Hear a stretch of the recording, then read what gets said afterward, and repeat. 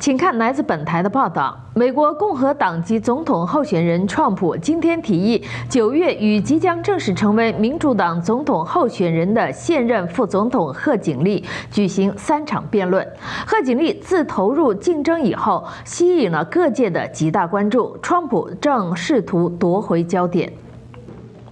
现任总统拜登上月二十一号宣布放弃竞选连任，转而支持贺锦丽参选。自此以后，贺锦丽获得党内许多支持，争取到创纪录的捐款，并抹去了川普在民意调查上的优势，让民主党看到了一个月前还不敢奢望的更大胜选可能性。贺锦丽是美国第一位女性亚非裔副总统，她本月稍晚将在芝加哥举行的民主党全国代表大会上。正式被提名为总统候选人。他近期在一连串人山人海的造势大会上露面，会中释出的积极讯息为他赢得赞美，令民主党的基本盘大为振奋。与此同时，川普发现自己身处一种陌生的处境，好似一名旁观者。在他减少造势活动之际，被贺锦丽的崛起抢走了光芒。川普对媒体说，他与电视台安排在九月四号、十号、二十五号辩论，